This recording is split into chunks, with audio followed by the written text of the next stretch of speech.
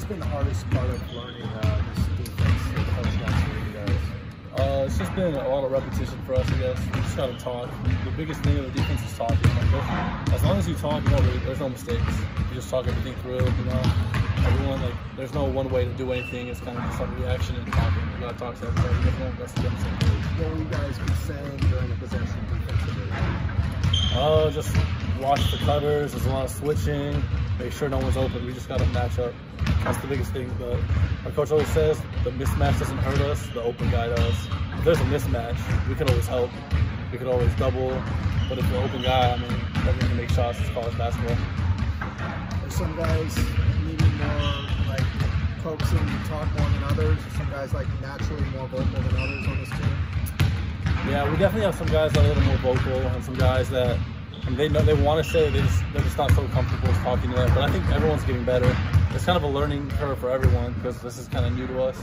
Just like it's very like moving defense, and like it's a lot of talking, and everyone's getting better than that. So. As one of the older guys on this team, are you trying to kind of lead the guys and, help them improve in areas they need to improve on?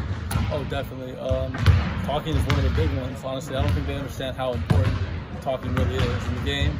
Like especially being loud because you're playing in front of big crowds. It's always it's really loud, so you got to make sure your teammate knows what you're saying to help them out and stuff. So.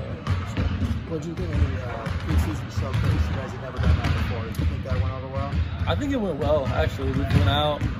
Uh, we played hard. I think the fans enjoyed it. It was a good little taste for the fans to see what we're about this year. So I think it went well. What are you looking to get out of the game on Wednesday? Like, is it good to get back out there for a real, real opponent again? Oh yeah, definitely. Like we've been going for about a month now, just full practices and just going at each other all the time, just pounding each other, going hard. So I think it's great to get against, go out against another opponent who doesn't know what we're doing, to see like what really works, what doesn't, like our execution. Because in practice we work on things, but we all know what we're gonna do. So kind of tougher, but I think it'll be interesting just to see how everything works out. How close do you feel like you guys are ready for the season? Uh, I think we're getting there. We're getting there definitely. I mean, it's a big improvement from a month ago when we had first practice. So I think, I mean, we obviously we're gonna get better throughout the season, but I think we're, I think we're good where we're at. We should keep getting better every day. Thank you. Thank you guys. Thanks. Thank you.